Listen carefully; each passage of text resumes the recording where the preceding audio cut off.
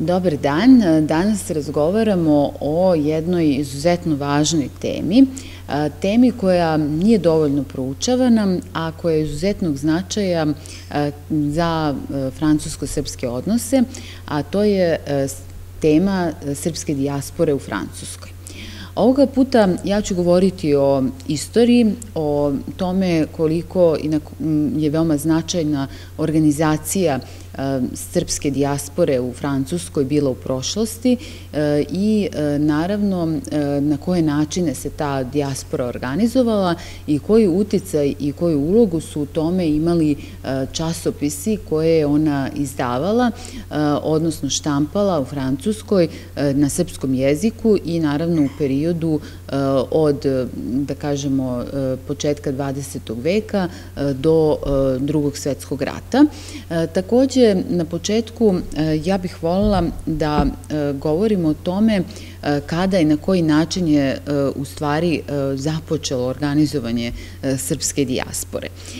Kada govorimo o prvim Srbima u Francuskoj, mi u većinu mislimo na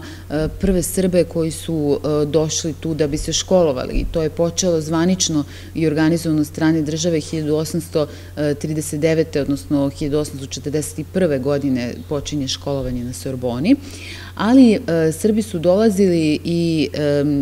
da bi radili da bi e, ostvarili e, bolji ekonomski položaj u Francusku i to je bilo doba, dakle, 19. veka kada u Francusku dolaze i Portugalci, e, Španci, Italijani u potrazi za poslovnim prilikama, za poslom i za izvorom života i rada na jedan bolji način. Takođe, Treba istaći da su se u prvo vreme Srbi koji su živeli u Francuskoj, pre svega u Parizu, okupljali i udruživali u okviru određenih kružaka, određenih grupa, da bi bolje savršili jezik, razmenjili znanja i iskustva. To su bili kružaci koji su bili poetskog tipa, koji su bili umetničkog tipa i to je bila neka njihova sfera interesovanja. Naravno, Srbi se, dakle, koji su došli na školovanje, nisu duže zadržavali, ali e, kako je vreme e, proticalo, e, neki od njih su i ostajali u Francuskoj i njima je bilo bitno da postoji neki prostor u kome bi oni mogli imati dodira sa svojim, sa ljudima iz svoje domovine, a opet imati jedan okvir komunikacije preko koga bi komunicirali i sa francuskim državljanima državljanima i francuskim vlastima. E, nama je poznato na osnovu tekstova koje je objavljivala Novosadska zastava e, da je postojalo 1886. godine u Parizu udruženje Srpska čitaonica e, na adresi ulice Saint-Germain koja je u stvari veoma bitna, jedna od glavnih ulica u prostoru 5. i 6. arondismana u latinskom kvartu, dakle u samom srcu Pariza. Novosadska zastava je tada pisala ovoj čitaonici o načinjima njenog rada i navela, izvestila da su u odboru bili profesor David Savić, Tihomilj Jovanović, pravnik i Špiro Poznanović, novinar. Nemamo nekih e, daljih informacija iz nekih drugih e, štampanih medija toga doba, ali je veoma interesantno da je Novosadska zastava zaista pratila e, ovu čitaonicu, ovu srpsku čitaonicu, pa tako imamo i informacije kada je ona menjala adrese. Ovde vidimo druge dve adrese na mapi Pariza prikazane i ono što možemo imati na umu i što nam to govori jeste E, sa jedne strane e, da e, se ovo udruženje, da ova srpska čitaonica očigledno zavisila udruživanja na dobrovoljnoj bazi, da je imala finansiranja koja su poticala iz privatnih inicijativa, da je zavisila u stvari od članova koji su je posećivali i koji su činili taj njen odbor i u skladu sa tim verovatno je i menjala te adrese, ali pre svega treba imati u vidu da su te adrese bile u samom latinskom kvartu, da su te adrese ili u prostorima bliže e, latinskom kvartu, dakle na obodima latinskog kvarta i da su te adrese bile e, blizu e, Sorbone, dakle delova gde je u stvari većina Srba koji su se školovali u Francuskoj bila prisutna i gde se kretala i živela i stoga je bilo bitno da jedna ovakva ustanova bude blizu dakle onih koji bi je posećivali. Takođe, veoma je interesantno da imamo podatke negde do kraja 19. veka da je ovo udruženje, odnosno ova srpska čitaonica bila aktivna i svakako je vredna pomena kao jedan od prvih načina na koji su stvari Srbi pokušali da se organizuju. Kasnije je opet to udruživanje poticalo iz samih studentskih organizacija i udruživanja. Nemamo podataka da li je ova srpska čitaonica uspostavljala neku bližu saradnju sa uglednim francuzima toga doba,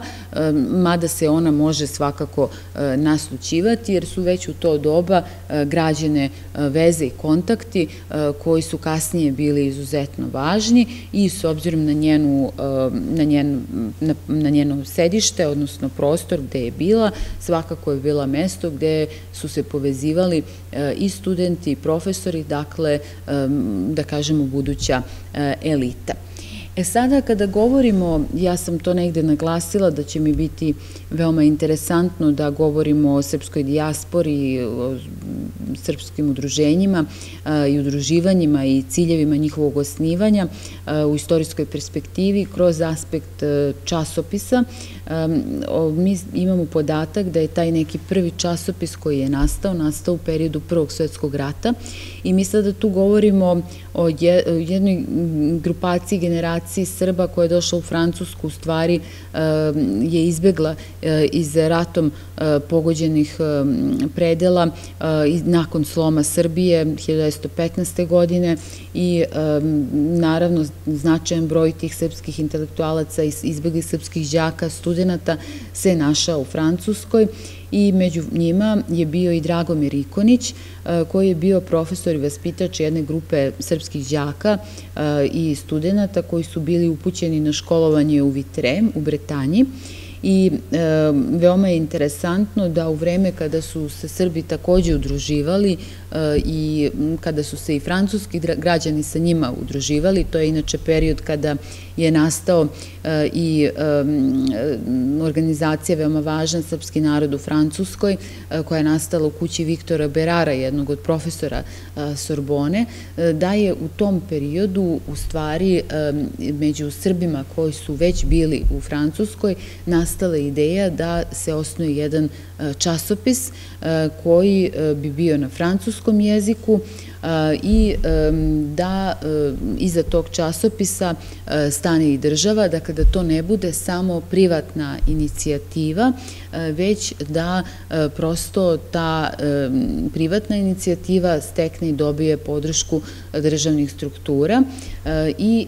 zamisao je bila svakako da se u rad ovog časopisa uključe tada poznati, eminentni intelektualci, dakle srpski, ali i francuski, među njima je svakako i Viktor Berar i zatim Ernest Denis i svi oni na koje su se u stvari Srbi veoma oslanjali kako u periodu pre Prvog svetskog rata, tako isto i posebno u ovom periodu. I tako je na taj način uz podršku Jaše Prodanovića, Jovana Žujovića, koji je bio i predsednik Srpske kraljevske akademije 1915. godine, u stvari Ikonić dobio podršku i ministra prosvete Ljube Davidovića i nastala je časopis, u stvari Srpska otačbina, koja je bila zamišljena kao mesečna revija za srpsku omladinu u iznanstvu, dakle u onu koja je bila u tom trenutku u Francuskoj.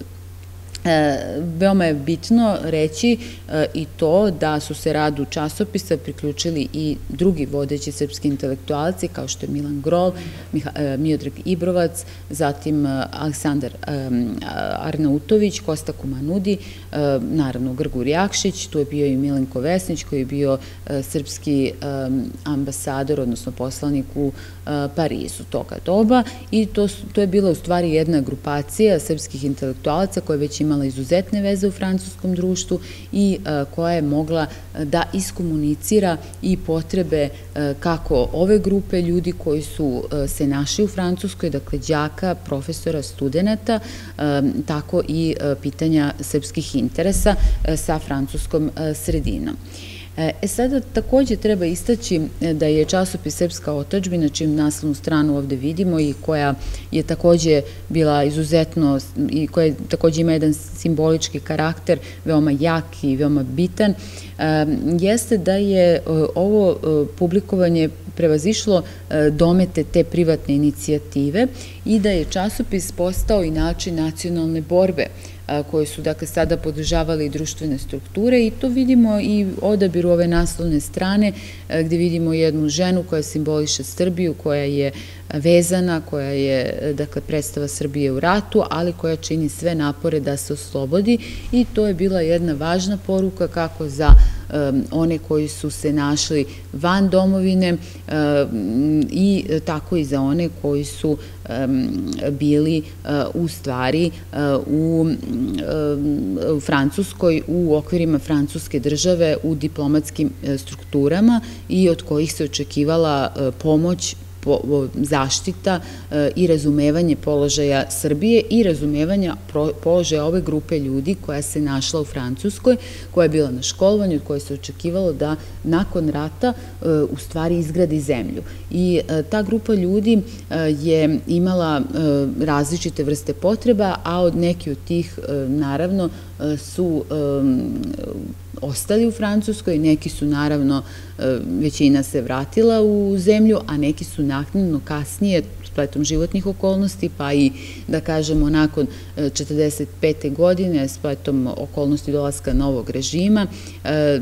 gde su se našli, dakle, na udaru novog režima, se vratila ponovo u Francusku i stoga je veoma interesantno da su kasnije inicijative za pokretanje časopisa u Francuskoj upravo poticale negde na osnovu iskustva ovog časopisa iz 1916. 1917. odnosno 18. godine koliko se on publikovao i svakako da sadržaj, analiza sadržaja ovog časopisa analiza ljudi koji su činili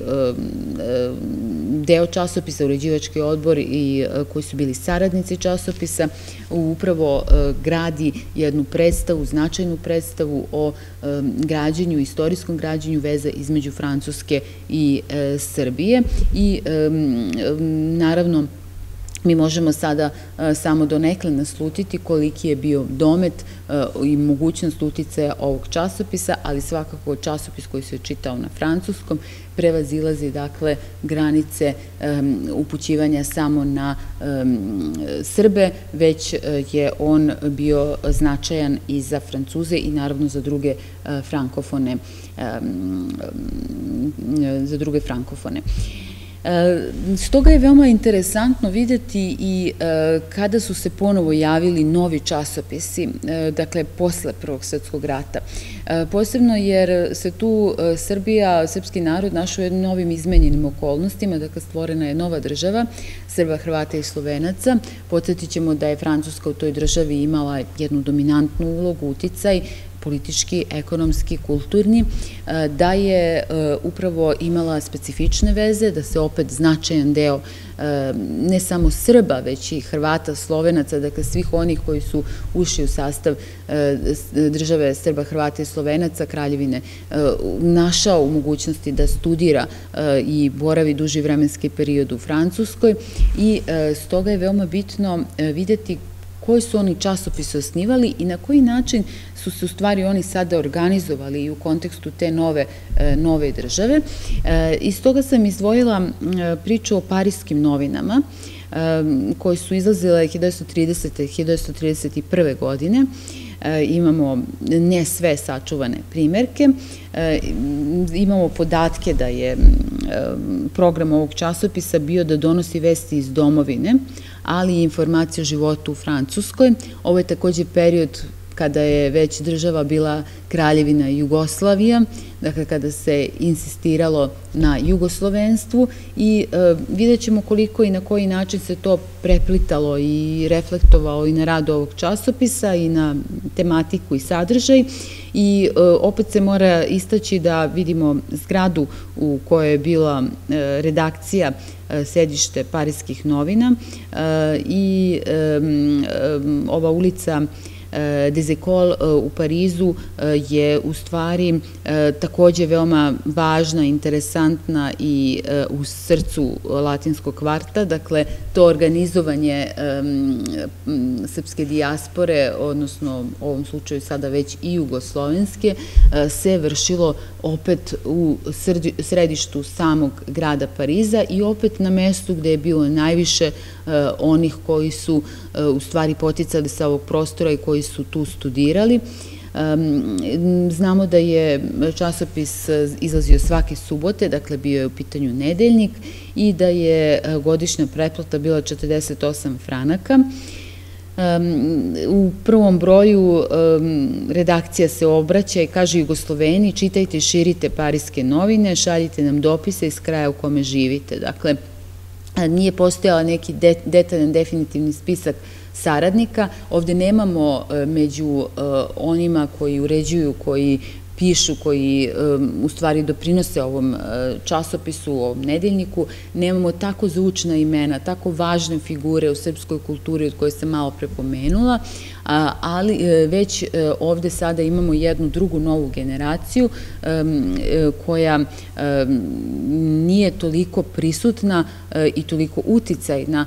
kako u Srbiji, tako i u Jugoslaviji na sceni, ali ona svakako piše i o onima koje, za koje, o kojima sam govorila. Takođe, veoma je interesantno da finansiranje ovog lista je očigledno bilo u formi preplate i očigledno je bilo na dobrovoljnoj bazi. Dakle, u pitanju su prilozi i to je sigurno i uticalo da jedna ovakva revija ne bude tako, da kažemo da ima brojne probleme. Oni o tome i govore u uvodniku prvog broja, gde kažu, gde pominju finansijske i tehničke poteškoće kod izdavanja lista na našem jeziku, kako oni kažu u Parizu. I e, znamo da je e, Žirant, pošto je to takođe bilo veoma bitno da bi jedan časopis mogao da izlazi, e, morao je da ima određene finansijske, finansijskog poverenika. To je bila Odette Tisson, i mi na osnovu dosadašnjih istraživanja nismo uspeli da tačno lociramo ko, ko, ko bi to bio. Moguće je da je to osoba čiju dopisnicu smo uspeli da pronađemo, ali još uvek nismo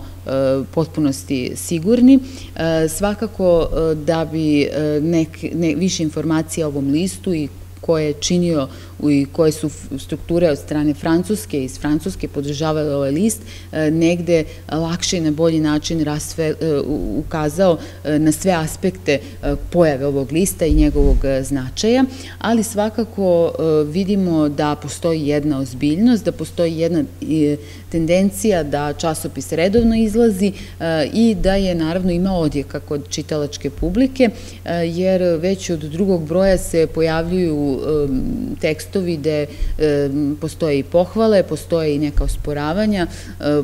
jel, sugestije kako bi časopis mogao da postane bolji. E, i takođe ono što se tu reflektuje jeste da oni koji su uređivali ovaj časopis da su već prihvatili način publikovanja časopisa, objavljivanja i uređivačke politike koja je postojala u tadašnjoj savremenoj Francuskoj i to su dakle ona pitanja e, vezana za slobodu štampe. E, takođe bilo je i novih ideja e, na koji bi ovaj časopis mogao da, da, da se izmeni, na koji način bi on mogao u budućnosti da poboljša svoj rad, pa su tako postojale ideje da on postane ilustrovana revija. Takođe i neke informacije koje imamo jesu i ukazuju na to da su postojale određene grupe koje su predlagale da se on štampa besplatno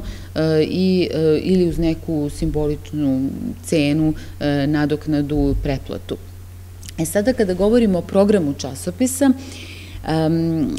veoma je važno uh, ono što je pisalo i u uvodniku i u nekim kasnijim uh, brojevima časopisa, gde se kaže, mi držimo da oni koji nas to pitaju uh, suviše imadu pred očima tip listoba u domovini. Dakle, definitivno nam to ukazuje da su urednici želeli jedan list E, koji je po, da kažemo, francuskim standardima, odnosno, e, konkretno oni su se verovatno ugledali na neke listove koje je već izdavala e, dijaspora drugih zemalja, posebno se tu pominje jermenska dijaspora i u tom kontekstu su oni želeli da publikuju ovaj časopis i već tu vidimo da postoje jasna, postoje jedna jasna svest o razlici u životu u e, novoj državi, e, dakle u dijaspori i u matici i da se javlja jedna potreba za informisanošću, odnosno želja da se bude bolje informisan, a istovremeno vidimo na, na osnovu načina funkcionisanja ovog časopisa i ove ideje od, urednika e, da se vrši jedan transfer ideja, jedan uticaj na buduće časopise o kojima ćemo govoriti, ja se nadam, nekim novim tribinama. E, međutim, e, ovaj tip lista, oni kažu dalje, koji je posvećen građanima i seljenicima, mnogo se razlikuje od listova koji izlaze u domovini, baš toliko koliko se razlikuje položaj građanina u domovini od položaja iseljenika u inostranstvu. I ovde zaista imamo prvi put e, da se jasno promišlja položaj, pozicija građana u dijaspori i onoga koje je u matici i jasno ovde sada imamo razliku da je ovo list dijaspore koja nije samo, dakle, intelektualna, da tako kažem, dijaspora, odnosno ona dijaspora koja se školuje e, i usavršava u inostranstvu i koja određeni vremenski period tamo boravi, već je ovo sada ekonomska dijaspora, jer, on, jer oni kažu, naš građanin koji je pošao da zaradi hleba u inostranstvu podvrgao se u najviše slučajeva jednom teškom, nestalnom i neodređenom udesu. Njehovi interesi na novom tlu ne mogu se više izraziti u stanovištu bilo koje partijske politike, iako su često ti interesi za unutrašnju priliku zemlje u kojoj je se nastanio, on nema ni mogućnosti ni prava da u toj politici aktivno sudeluje. Dakle, fokus je položaj na emigrantu, na migrantu, na položaj u novoj državi i e, naravno e, na tome da e, ne postoji prostor za stranačke igre, za okvir stranački, stranački borbi na stranicama ovog, ovog časopisa. E, s druge strane, kaže se, voditi našu unutrašnju politiku inostranstvu, raspirivati ovde sve sporove iz domovine, bilo bi suviše neozbiljno i besmisleno. To ne bi imalo nikakvog korisnog cilja,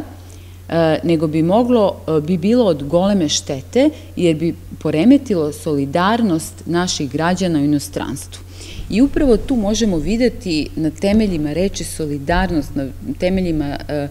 ovoga mi vidimo da kreće organizovanje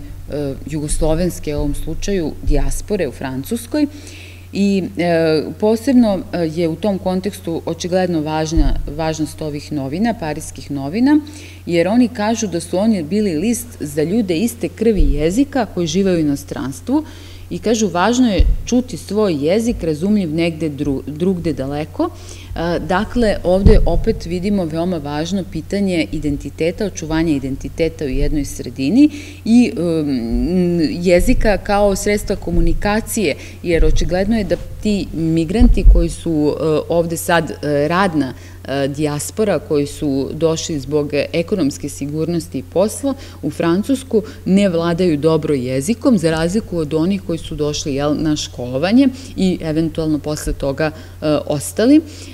I takođe jedan novi okvir koji se ovde prepoznaje i koji je posebno danas veoma važan i aktuelan, jeste onaj okvir koji se naziva dijaspora kao neka prva slika matice, jer oni ovde kažu da je ideja ovog časopisa, dakle Parijskih novina, činiti propagandu za naš narod i državu, dakle uspostavljanje i tih odnosa sa Francuskom koji bi bili dublji, koji bi se produbili i naravno to je vršeno na osnovu E, svega e, onoga što je činio francuski okvir zakonodavstva, a vidjet ćemo kasnije časopise i time e, bavilo. E sada, posebno je važno istaći da je Parijske novine su insistirale na potrebi da se formira prva prava organizacija Jugoslovena u Francuskoj i oni su tu uzimali primere iz svog neposrednog okruženja, Konkretno su navodili primer e, dobrog organizovanja Čeha i Poljaka, i e, govorili su o tim iskustvima pojedinaca, iskustvima ljudi u, iz dijaspore, da oni kažu gorka iskustva pojedinaca, naročito u Francuskoj, pokazuju nam svakoga dana da je danas život izolovanog emigranta vrlo težak i da u pojedinim slučajevima mnogi naši ljudi stradaju i izlažu se teškim nelagodnostima, jedino zato što nemaju u svojoj okolini nikoga tko će ih zaštititi, dati im dobar savjet, preporučiti ih francuskim vlastinama i ustanovama. I e, to je e, veoma bitan e, povod, bitan motiv da nastane i ova novina, ali i buduća organizacija i kasnije su nastale jugoslovenske parijske novine koje su publikove tekstove na srpskom i francuskom od 31. do 1934. godine i njih je Milan Kraljević u stvari uređivao. I takođe e, vidimo da su ove parijske novine bile dakle, ta inicijalna kapisla iz e, koje su nastale e, buduće inicijative. E sada, e, zbog čega je u stvari bila potreba da nastanu ovakve inicijative, mi takođe pronalazimo isto na stranicama ovih novina, e, gde se govori o tome da diplomatsko predstavništvo koje je postojalo u Parizu e, nije bilo uvek u mogućnosti da izađe u susret emigrantima i migrantima koji su dolazili sa ovih prostora, i razmišlja se istovremeno i o nekim krajevima gde, dakle, koji nisu blizu Pariza, a gde postoji ljudi sa prostora e, Jugoslavije koji žive i rade e, i razmišljalo se na koji način da se oni svi povežu i veoma je interesantno da je tu predlog bio da se odrede određena osoba koja će recimo predstavljati u javnosti gde postoji nekoliko tih e, pripadnika u udaljenim mestima, udaljenim od Pariza, naravno, od prestonice i da bi ona e, potom e, se formirala u samim većim gradovima gde postoji veći broj ljudi sa prostora Srbije i Jugoslavije, udruženja, a potom bi se ona, dakle, sva ujedinila u jednu krovnu organizaciju i u tom kontekstu oni navode da će Jugoslovenska kolonija u Parizu sazvati jedan kongres na kome će se postaviti, kako se kaže, osnovni temelji jedne jedinstvene široke nacionalne organizacije svih Jugoslovena koji žive u Francuskoj. Dakle, i u periodu pre 1930. postojale su inicijative da se e, formiraju različite udruženja. E, to su bila u principu uvek manja udruženja koje nisu imale tu, nisu imala tu moć, nisu imala uh, jasno definisanu um, programe uh, ili su ti programi bili dosta uski i obuhvatali su samo neke od pripadnika jugoslovenske dijaspore. Ovde sada vidimo dakle težnju da se formira jugoslovenska dijaspora i udruženje, dakle jedno centralizovano, jedinstveno,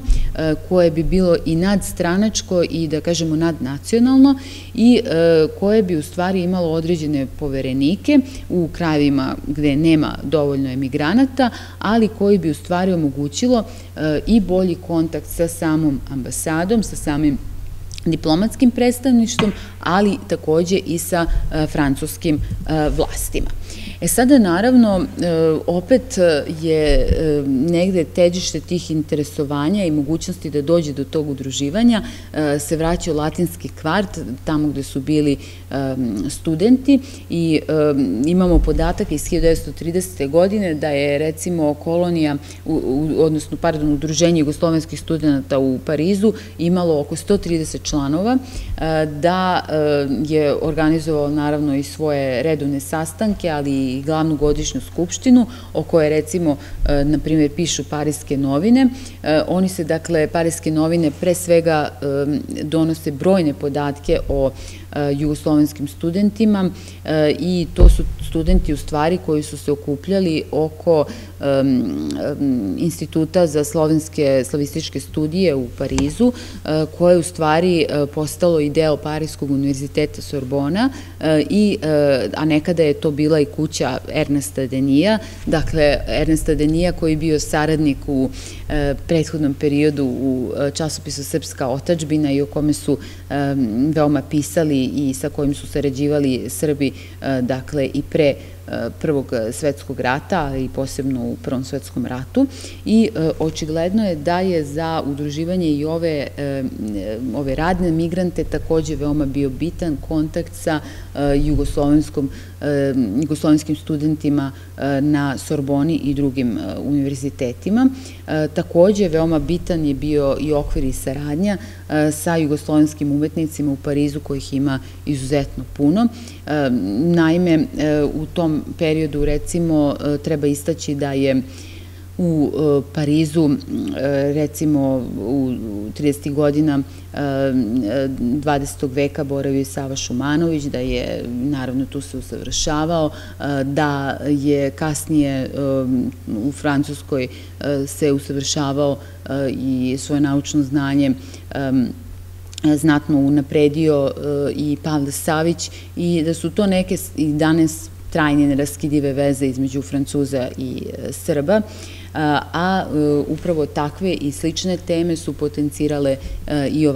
i parijske novine i drugi časopisi koji su nastali. Naravno, ono o čemu su pisali jeste recimo i godišnjice i proslave i recimo obeležavanje kraljevog rođendana ili ujedinjenja Jugoslovena, odnosno Jugoslovenskog ujedinjenja, čemu je Francuska veoma aktivno učestvovala i u ostalom tu su nastala i ova fotografija koju vidite, a takođe organizovane su i brojna predavanja u okviru udruženja prijatelja Jugoslavije, kao što je ovo ovaj, predavanje poznatog naučnika Boškovića. E, takođe, e, treba istaći e, da su u okviru parijskih novina posebno isticali bratstvo po oružju, iskustvo ratovanja Francuza i Srba u periodu Prvog svetskog rata, da se pozivalo na te tradicije, na tradicije posebno u okviru organizacije koja se bavila u stvari zaštitom, sećanjem na događaje iz Velikog rata, takođe na govorila sam već o proslavu jedinjenja rođendana kralja, stalni gosti i neko kome se pisao su bile i članice Parijske e, opere, e, to su, bile, to su bile izuzetno poznate ličnosti toga doba u Francuskoj, ali interesantno da pored tih informacija o Francuskoj, o životu u Francuskoj, recimo o formiranju francuske vlade, e, da se velika pažnja posvetila i događajima u domovini. E sada, kada govorimo o ovim događajima na Sorboni i naravno u samoj Francuskoj koja je organizovala ili Srpska zajednica ili Srpski diplomatski predstavnik poslanik recimo kao Miroslav Spalajković što je organizovao, e, koga ovde vidimo ispred kompozicije Orient Expressa kojim je dolazio e, u e, Pariz, je u stvari i taj okvir događaja koji su bili organizovani u središtu Sorbone i o njima se prosto više pisalo i detaljnije, pa recimo veoma interesantan govor Spalajkovića na jednom takvom događaju i ovaj deo teksta da se kaže za mnoge godine, a ne, ako ne i za stoleća, suštastveni zadatak Francuske Jugoslavije jeste zadatak koji im diktiraju mrtvi Francuzi i Jugosloveni, pali za jugoslovensko pravo i jugoslovensko jedinjenje, ali oružano bratstvo ima sada druga oružja i drugi zadatak. Naše novo oružje to su nauka, umetnost, knjiga, misao. Francuzi i Jugosloveni imaju da izdržaju još jednu ogromnu borbu, borbu pacifističku za mir, za održavanje mira koji nas je tako skupo stao. Dakle, Veoma je interesantno da se sada e, na stranicama ovog časopisa Parijske revije može videti kako taj, ta matrica francusko-srpskog prijateljstva prerasta e, u francusko-jugoslovensko prijateljstvo, dakle već u periodu kraljevine. I veoma je interesantan i ovaj podatak da se takođe Parijskom novinama može pronaći i pesma Vladimira Petkovića kada, koja je veoma često citirana i pominje se i dan danas kada e, sin pita oca koji je izbegao u periodu e, e, Prvog svetskog rata u Francusku i tu se školovao, kada ga pita gde je ta Francuska, on tada stavi ruku na srce i kaže Francuska je ovde. Dakle, u tom periodu možemo videti da se na stranicama ovog časopisa izuzetno neguje ta povezanost i specifična veza, unikatna veza između Francuske i Srbije, koja se sada, dakle, reflektuje i na samu dijasporu. E, takođe, e, napomenula sam da su e, na stranicama časopisa izveštavali o događajima u domovini, ali je ipak taj glavni cilj u stvari bilo prilagođavanje jednoj novoj životnoj sredini i Francuskoj i Parijskoj i posebno su bile veoma bitne teme kao što su rad, osiguranje, uslovi života, slobodno vreme. Uh, tu su bili i tekstovi o francuskom, odnosno parijskom noćnom životu, o uh, kafanama. Osiguranje je bilo jedna veoma važna tema, jer je bio u stvari problema za radnike iz Srbije sa prostora Jugoslavije koji ga nisu imali ili su morali da dodatno plaćaju to osiguranje, odnosno imali su, da kažemo, teži socijalni položaj od radnika drugih država, posebno od Italijana i Poljaka, o čemu su oni i pisali. Tu je jedan veoma važan tekst socijalno osiguranje i naši radnici i upravo u njemu oni izlažu taj problem gde se govori da su Italijani, Belgijanci i Poljaci bili privilegovani jer u odnosu na druge migrante, dakle ne samo na, na Srbe, jer su u stvari oni imali to osiguranje i imali su ista prava koji su imali i francuski radnici i e, upravo tu vidimo zašto je jedno ovako udruživanje i zašto je jedan ovakav časopis bio e, potreban migrantima sa, sa ovih prostora. Takođe, e, parijske novine e, su e, donosile i informacije o važnim adresama, adresama francuskih važnih ustanova, organizacija. One su objavljivale različite pozive, informacije za događaje. Da, date su informacije kojim jugoslovenskim i naravno francuskim advokatima se mogu obratiti migranti, zatim koje su radnje, koji krojače restorani povoljni, gde srpski, odnosno jugoslovenski građani mogu da podignu kredite, ali tu su bili i oglasi za posao, kao i oglasi e, koji su nudili usluge e, prevođenja i sudski, e, sudskog prevođenja, odnosno sudski tumači, usluge sudskog tumača, što je očigledno bilo veoma bitno, jer se položaj tih radnika značajno, značajno je postao složeniji u ovom periodu i tu su bile i neke druge poznate adrese, recimo adrese poslanstva, konzulata u Marseju, Bordeaux, prosvetnog odelenja Jugoslovenske kolonije, gde je bio vojni zaslanik, tehnički biro e, i e, interesantne teme koje su negde bile, da kažemo, lakše, kao što je recimo tema parijske mode. E, ovde vidimo adresu na kojoj je bilo poslanstvo u jednom periodu. Dakle, na osnovu svega toga mi sada na osnovu jednog časopisa, na osnovu ova dva časopisa o kojima sam pričala, kao i na osnovu tekstova koji su objavljeni u srpskom zastavi, odnosno novosadskoj zastavi, možemo sada videti kako i na koji način se gradila ta svest kod ljudi koji su iz Srbije, iz kasnije Jugoslavije, Kraljevine, odlazili u Francusku i na koji način su se oni udruživali, koje su bile njihove predstave i potrebe i na koji način je izgledao neki njihov svakodnevni život kao i borba za, za njega. Ovo su bile samo u stvari tri scene, tako reći, iz istorije srpske dijaspore, koje u stvari sam žela da ukažem na značaj proučavanja ove teme, koja je još uvek nedovoljno istražena i na značaj proučavanja u budućnosti francuskih arhiva koji posebno kriju tajnu o ovim temama, ali i sam značaj pojave ovih časopisa koji nam sada u značajnoj meri svedoče o tome kako je izgledao život jugoslovenskog i srpskog migranta u prošlosti u Francuskoj. Hvala.